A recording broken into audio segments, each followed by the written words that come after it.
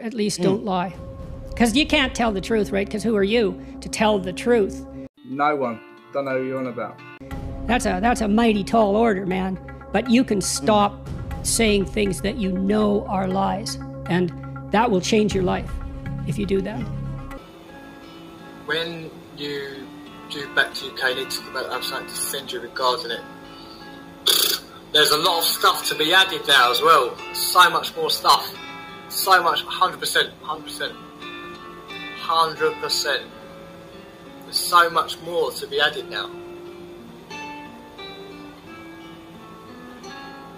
Also, by the way, I was thinking about doing the PDF as well. I was thinking about doing a PDF. 100%. I'll, I'll hit you up when I'm back. 100%. And it's crucial. Why would it change because- their life? Well, how can you adapt to reality when you falsify it? And you hmm. think, well, I'm just lying to other people. No, no, you're not. You can't just lie to other people because what you say becomes you, especially if you practice it. Because we build ourselves out of words. And that can be lies in action too. It's like, don't don't say things you know to be false. That's a that's a good start, man. And it allies yourself with the truth. And that, like, how can that be a bad idea? Ma- imagine that what is true reflects reality, which is sort of the definition of true. How can failing to align yourself with reality work? How is that possibly going to work? Well, you say, well, I can, you know, if I lie, I get away with something. It's like, no, you don't. You, I, I tell you, I swear this is true. In all of my clinical practice, I have never, ever seen anyone ever get away with anything even once.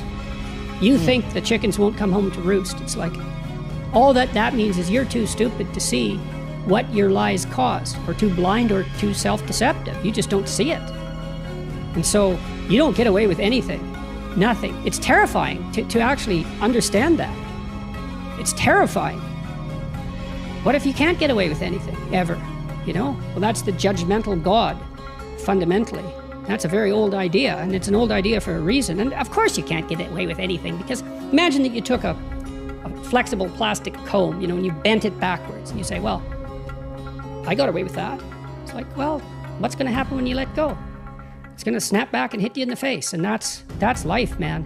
You warp the structure of reality. You think you are someone who can warp the structure of reality with your words and get away with it? Really? No, man, that should that should terrify you right to the core of your soul. You're not God.